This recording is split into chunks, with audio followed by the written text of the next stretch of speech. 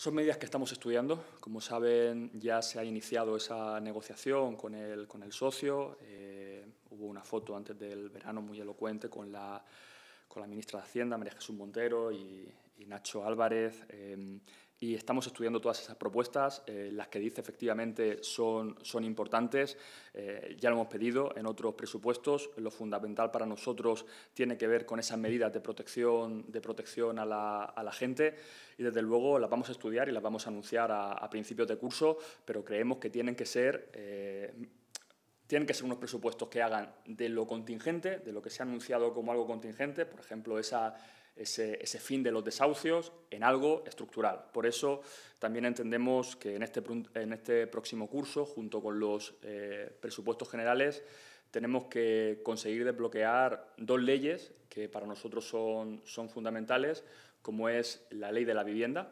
Eh, la ley de la vivienda creo que está atascada en dos puntos fundamentales de, marcado cari social, que tiene, tiene, que ver, en primer lugar, como le decía, con hacer la, la prohibición de los desahucios de algo temporal que se hizo durante el escudo social a algo que sea estructural en nuestro país, ningún desahucio sin alternativa habitacional y por otra parte queremos avanzar ya también eh, en la negociación de estos presupuestos para que las viviendas de la Saref, del llamado eh, Banco Malo, puedan ser puestas a disposición de las comunidades autónomas, como está, por ejemplo, pidiendo el vicepresidente Héctor Illueca en, Valencia, para crear un gran parque de eh, alquiler social.